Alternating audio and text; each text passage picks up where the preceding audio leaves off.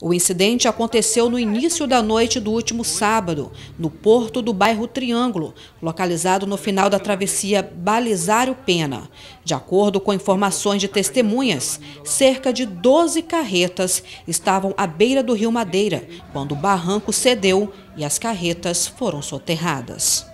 A princípio, houve indícios que cerca de cinco caminhoneiros estariam desaparecidos, mas essa informação não foi confirmada pela Polícia Militar. O risco de haver novos desmoronamentos é grande.